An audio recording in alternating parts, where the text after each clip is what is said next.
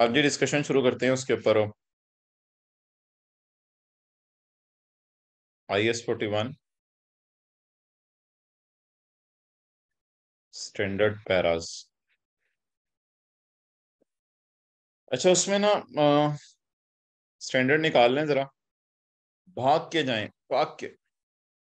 तैतीस लोग हैं, तैतीस स्टैंडर्ड पढ़े हों। तब तब, भाग के। लाते जाए यस करते जाए। Yes yes yes yes yes part B को नहीं, कुछ नहीं करना। पार्ट ए पार्ट ए ले आए ले आए यस यस यस यस आ आ आ, क्या होता है? यस दानिश दानिश बस कर दो। द यस यस कोई नो वाला भी करे ना जरा, जिसके बाद ना पढ़े, जरा मज़ा आए। No no no Usama Akhtar बाजा जा अच्छा जी। आई एस फोर्टी वन ये जी पैरा है। और कुछ ऐसे भी हैं ना जिन्होंने यस किया ना नो किया है। अच्छा। वैसे तो मैं एक जनरल आपके सामने जो है वो स्टैंडर्ड खोल के डिस्कशन करूँगा। अच्छा बीच में ना कुछ ऐसी डिस्कशन हुई जो आप भी खोल के रख लें स्टैंडर्ड रूम में है अच्छा। और मैं लाइब्रेरी में हूँ। अच्छा जोलो अच्छा आप ऐसा करें कि स्टैंडर्ड खोल लें और ना एक सफ़ा है हमारी किताब में, वो भी ज़रा मैं खोलने लगा हूँ। वो कॉपी तो किया था। ये ये हमारी किताब में सफ़ा है। इसमें आप, इसमें ना जो पैरा स्टैंडर्ड के आपने हाईलाइट करने हैं, वो यहाँ दिए हुए हैं। अब मैं स्टार्ट करता हूँ। स्टैंडर्ड से जी। नो सर, पता नहीं अब किसमें बोला है आपने। अच्छा चलें जी। Para one. Para one is scope para. ये स्कोप पैरा है। ये आपको हमारी किताब में शुरू में मिलेगा कि आई एस फोर्टी वन किस किस चीज़ पे लगता है। और फिर नीचे लिखा हुआ आई एस फोर्टी वन किस किस चीज़ के ऊपर नहीं लगता। और हमने क्लास में बस यहाँ तक स्कोप पैरा में लिखा था। लिख लें आप लोग भी। आई एस फोर्टी वन किस पे नहीं लगता। बाकी आपको पता है I S forty one intangibles पे नहीं लगता। और लीजेस तो अलग चीज़ है, वो भी हम देखेंगे। तो बुक का पेज कौन सा है? यार, ये बुक का पेज पैरा वन और टू का बुक का पेज है पहला। वो बुक में भी जाओगे तो मुझे तीन फाइलें खोलनी पड़ेगी पूरी रात यही करते रहेंगे।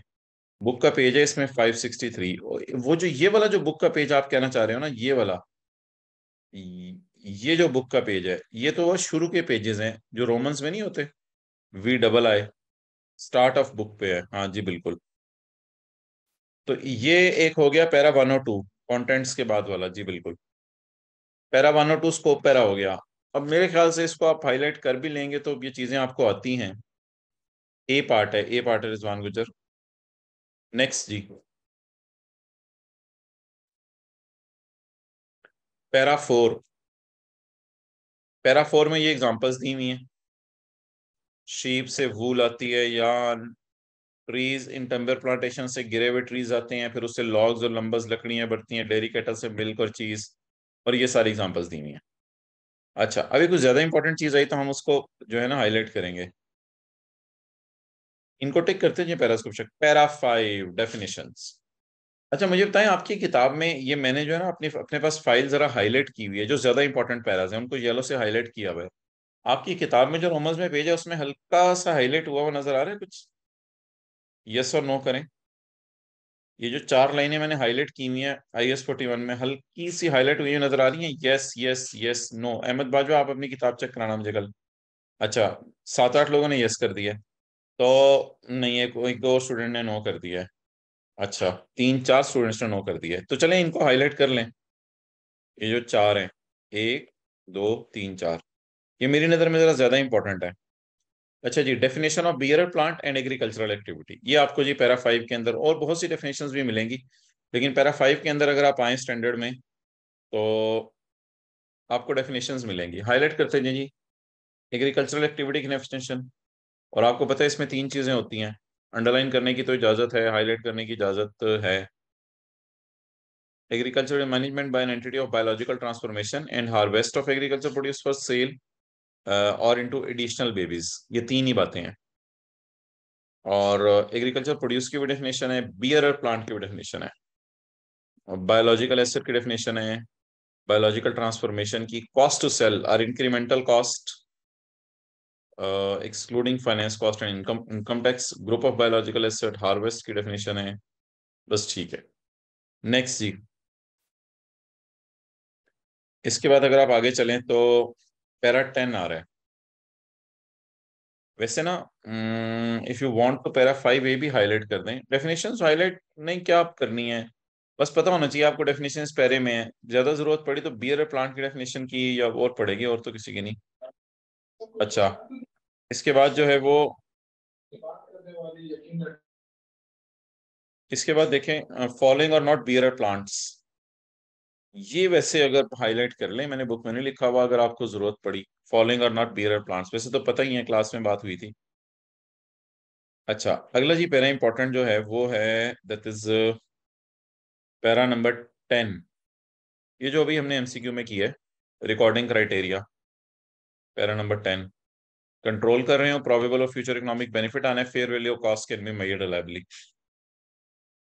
इसके बाद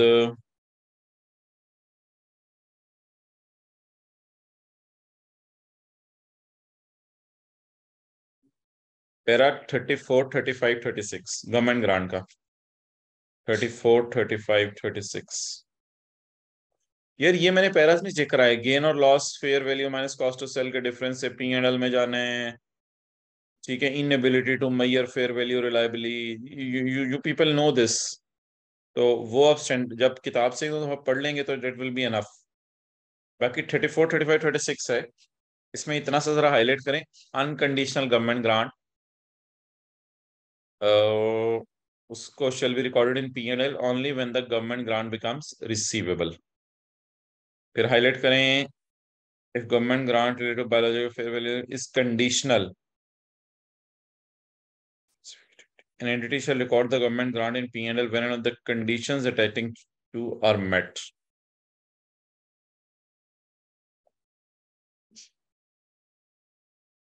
और पैरा थर्टी सिक्स में वो बात हुई है जो क्लास में डिटेल से की थी और उसकी दो एग्जांपल्स भी करवाई थी। अब जी बस डिस्क्लोजर शुरू हो गया डिस्क्लोजर शुरू हो गए हैं। डिस्क्लोजर्स में फिर तीन किस्म के डिस्क्लोजर हैं। एक जनरल डिस्क्लोजर है। एक वो डिस्क्लोजर जो हमने लेक्चर ट्वेल्व में भी किए थे if fair value cannot be measured और disclosure related to government grant general disclosure 40, 41, 43, 50, 46, 49, 53 ये हमने कहाँ किए हैं? ये पहले तो पता होना चाहिए हमने कहाँ किए हैं। हमने किताब के अंदर ये डिस्क्लोजर्स किए हैं। पेज नंबर 571 पे। तो आपके पास अगर किताब खुली है तो यहाँ पे भी लिख सकते हैं पेज 571 वाले। और ये दोनों हमने किए हैं पेज 572 पे। पेज 570 पे? नहीं 71 पे। 70 पे तो डिस्क्लोजर हम्म, शुरू हो रहे हैं ना। 71 पे ये जनरल वाले डिस्क्लोजर किए हैं और फिर 72 के ऊपर जो है वो गवर्नमेंट ग्रांट वाले और डिस्क्लोजर उनके अगर fair value cannot be measured lively okay चले जी जनरल डिस्क्लोजर जरा नज़र मारते हैं 40, 41, 43, 50, 46, 49, 53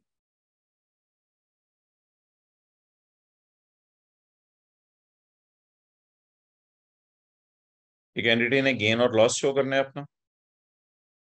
उसको किताब से देखते रहते हैं।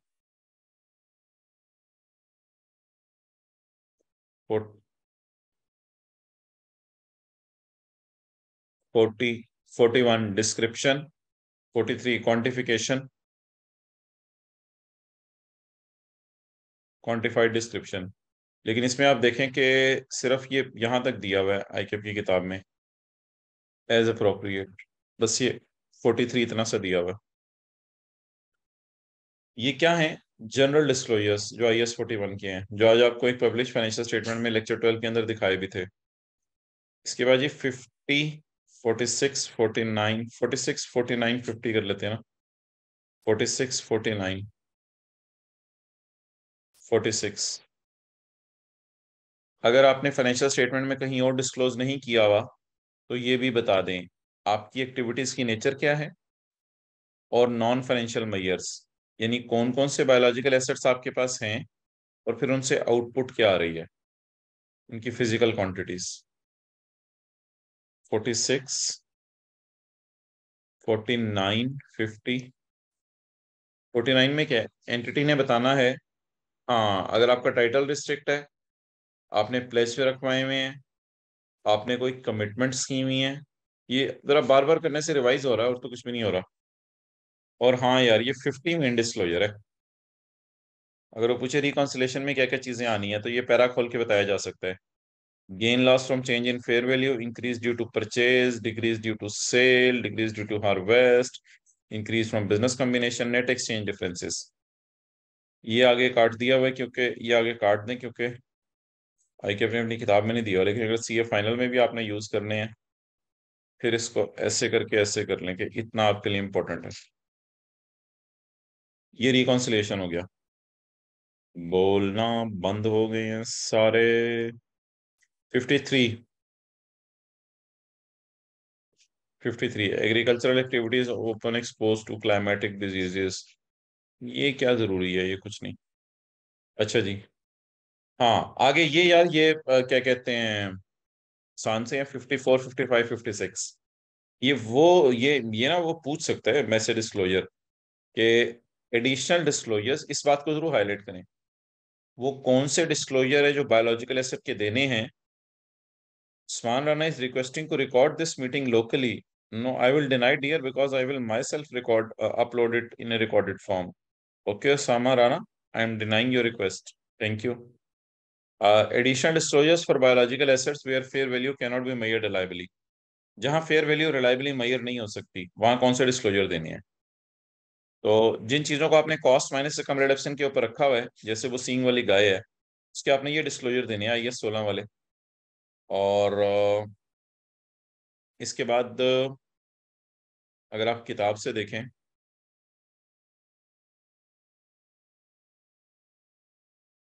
एक ये पैरा हो गया फिफ्टी फोर फिफ्टी फाइव और फिफ्टी सिक्स और फिफ्टी फाइव देखें, इतनी डिटेल में नहीं दिया हुआ। तो फिफ्टी फाइव में बस ये। और फिफ्टी सिक्स भी आई के अपने अपनी किताब में डिटेल में नहीं दिया हुआ। इसलिए हमने भी अपनी किताब में डिटेल में नहीं दिया फिफ्टी सिक्स अगर फेयर वैल्यू बाद में पता चल जाए। तो फिफ्टी फाइव में तो आपने सिर्फ़ ये कर लिया, जो मैंने ब्रैकेट लगाया है। Fifty six if fair value जिसको प्रीवियसली आपने कॉस्ट पे रखा हुआ है, अब उसकी मैयरेबल हो जाए। अब ये अलग से पूछ सकता है पहले कॉस्ट पे रखा हुआ था, अब उसकी फेयर वैल्यू मैयरेबल हो गई है। उसके बारे में ये तीन डिस्क्लोजर देने हैं। और गवर्नमेंट ग्रांट के तो अलग से आसान से ये तीन डिस्क्लोजर है। अच्छा चले। ठीक है जी, ये थी हमारे स्टैंडर्ड के पैरास की डिस्कशन और इंशाल्लाह मिलते हैं अब अगली क्लास में। ओके वालेकुम अच्छा दानिश अल्लाह हाफिज़